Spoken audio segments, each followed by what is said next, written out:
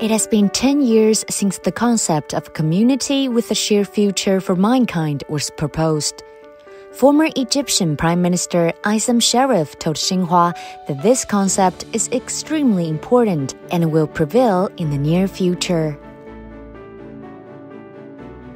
For me, the concept is extremely important, especially under the current global conditions. The world is highly connected and interconnected.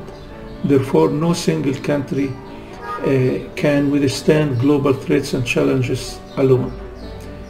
Examples for that is financial crisis in 2008, climate change, COVID-19, Russian-Ukraine war, and other things, of course. Therefore, the concept of building a community of a shared future for mankind, which calls for global responses to global challenges and threats, is a vital necessity for our, our existence.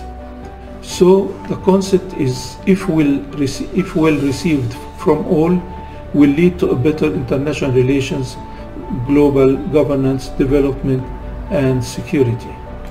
The concept is logical and deeply needed, especially under the current unprecedented global threats and challenges. And I believe it will receive considerable attention and acceptance in the near future. Um, yes, I, as I indicated earlier, there will be challenges from those who promote unilateralism and oppose multilateralism.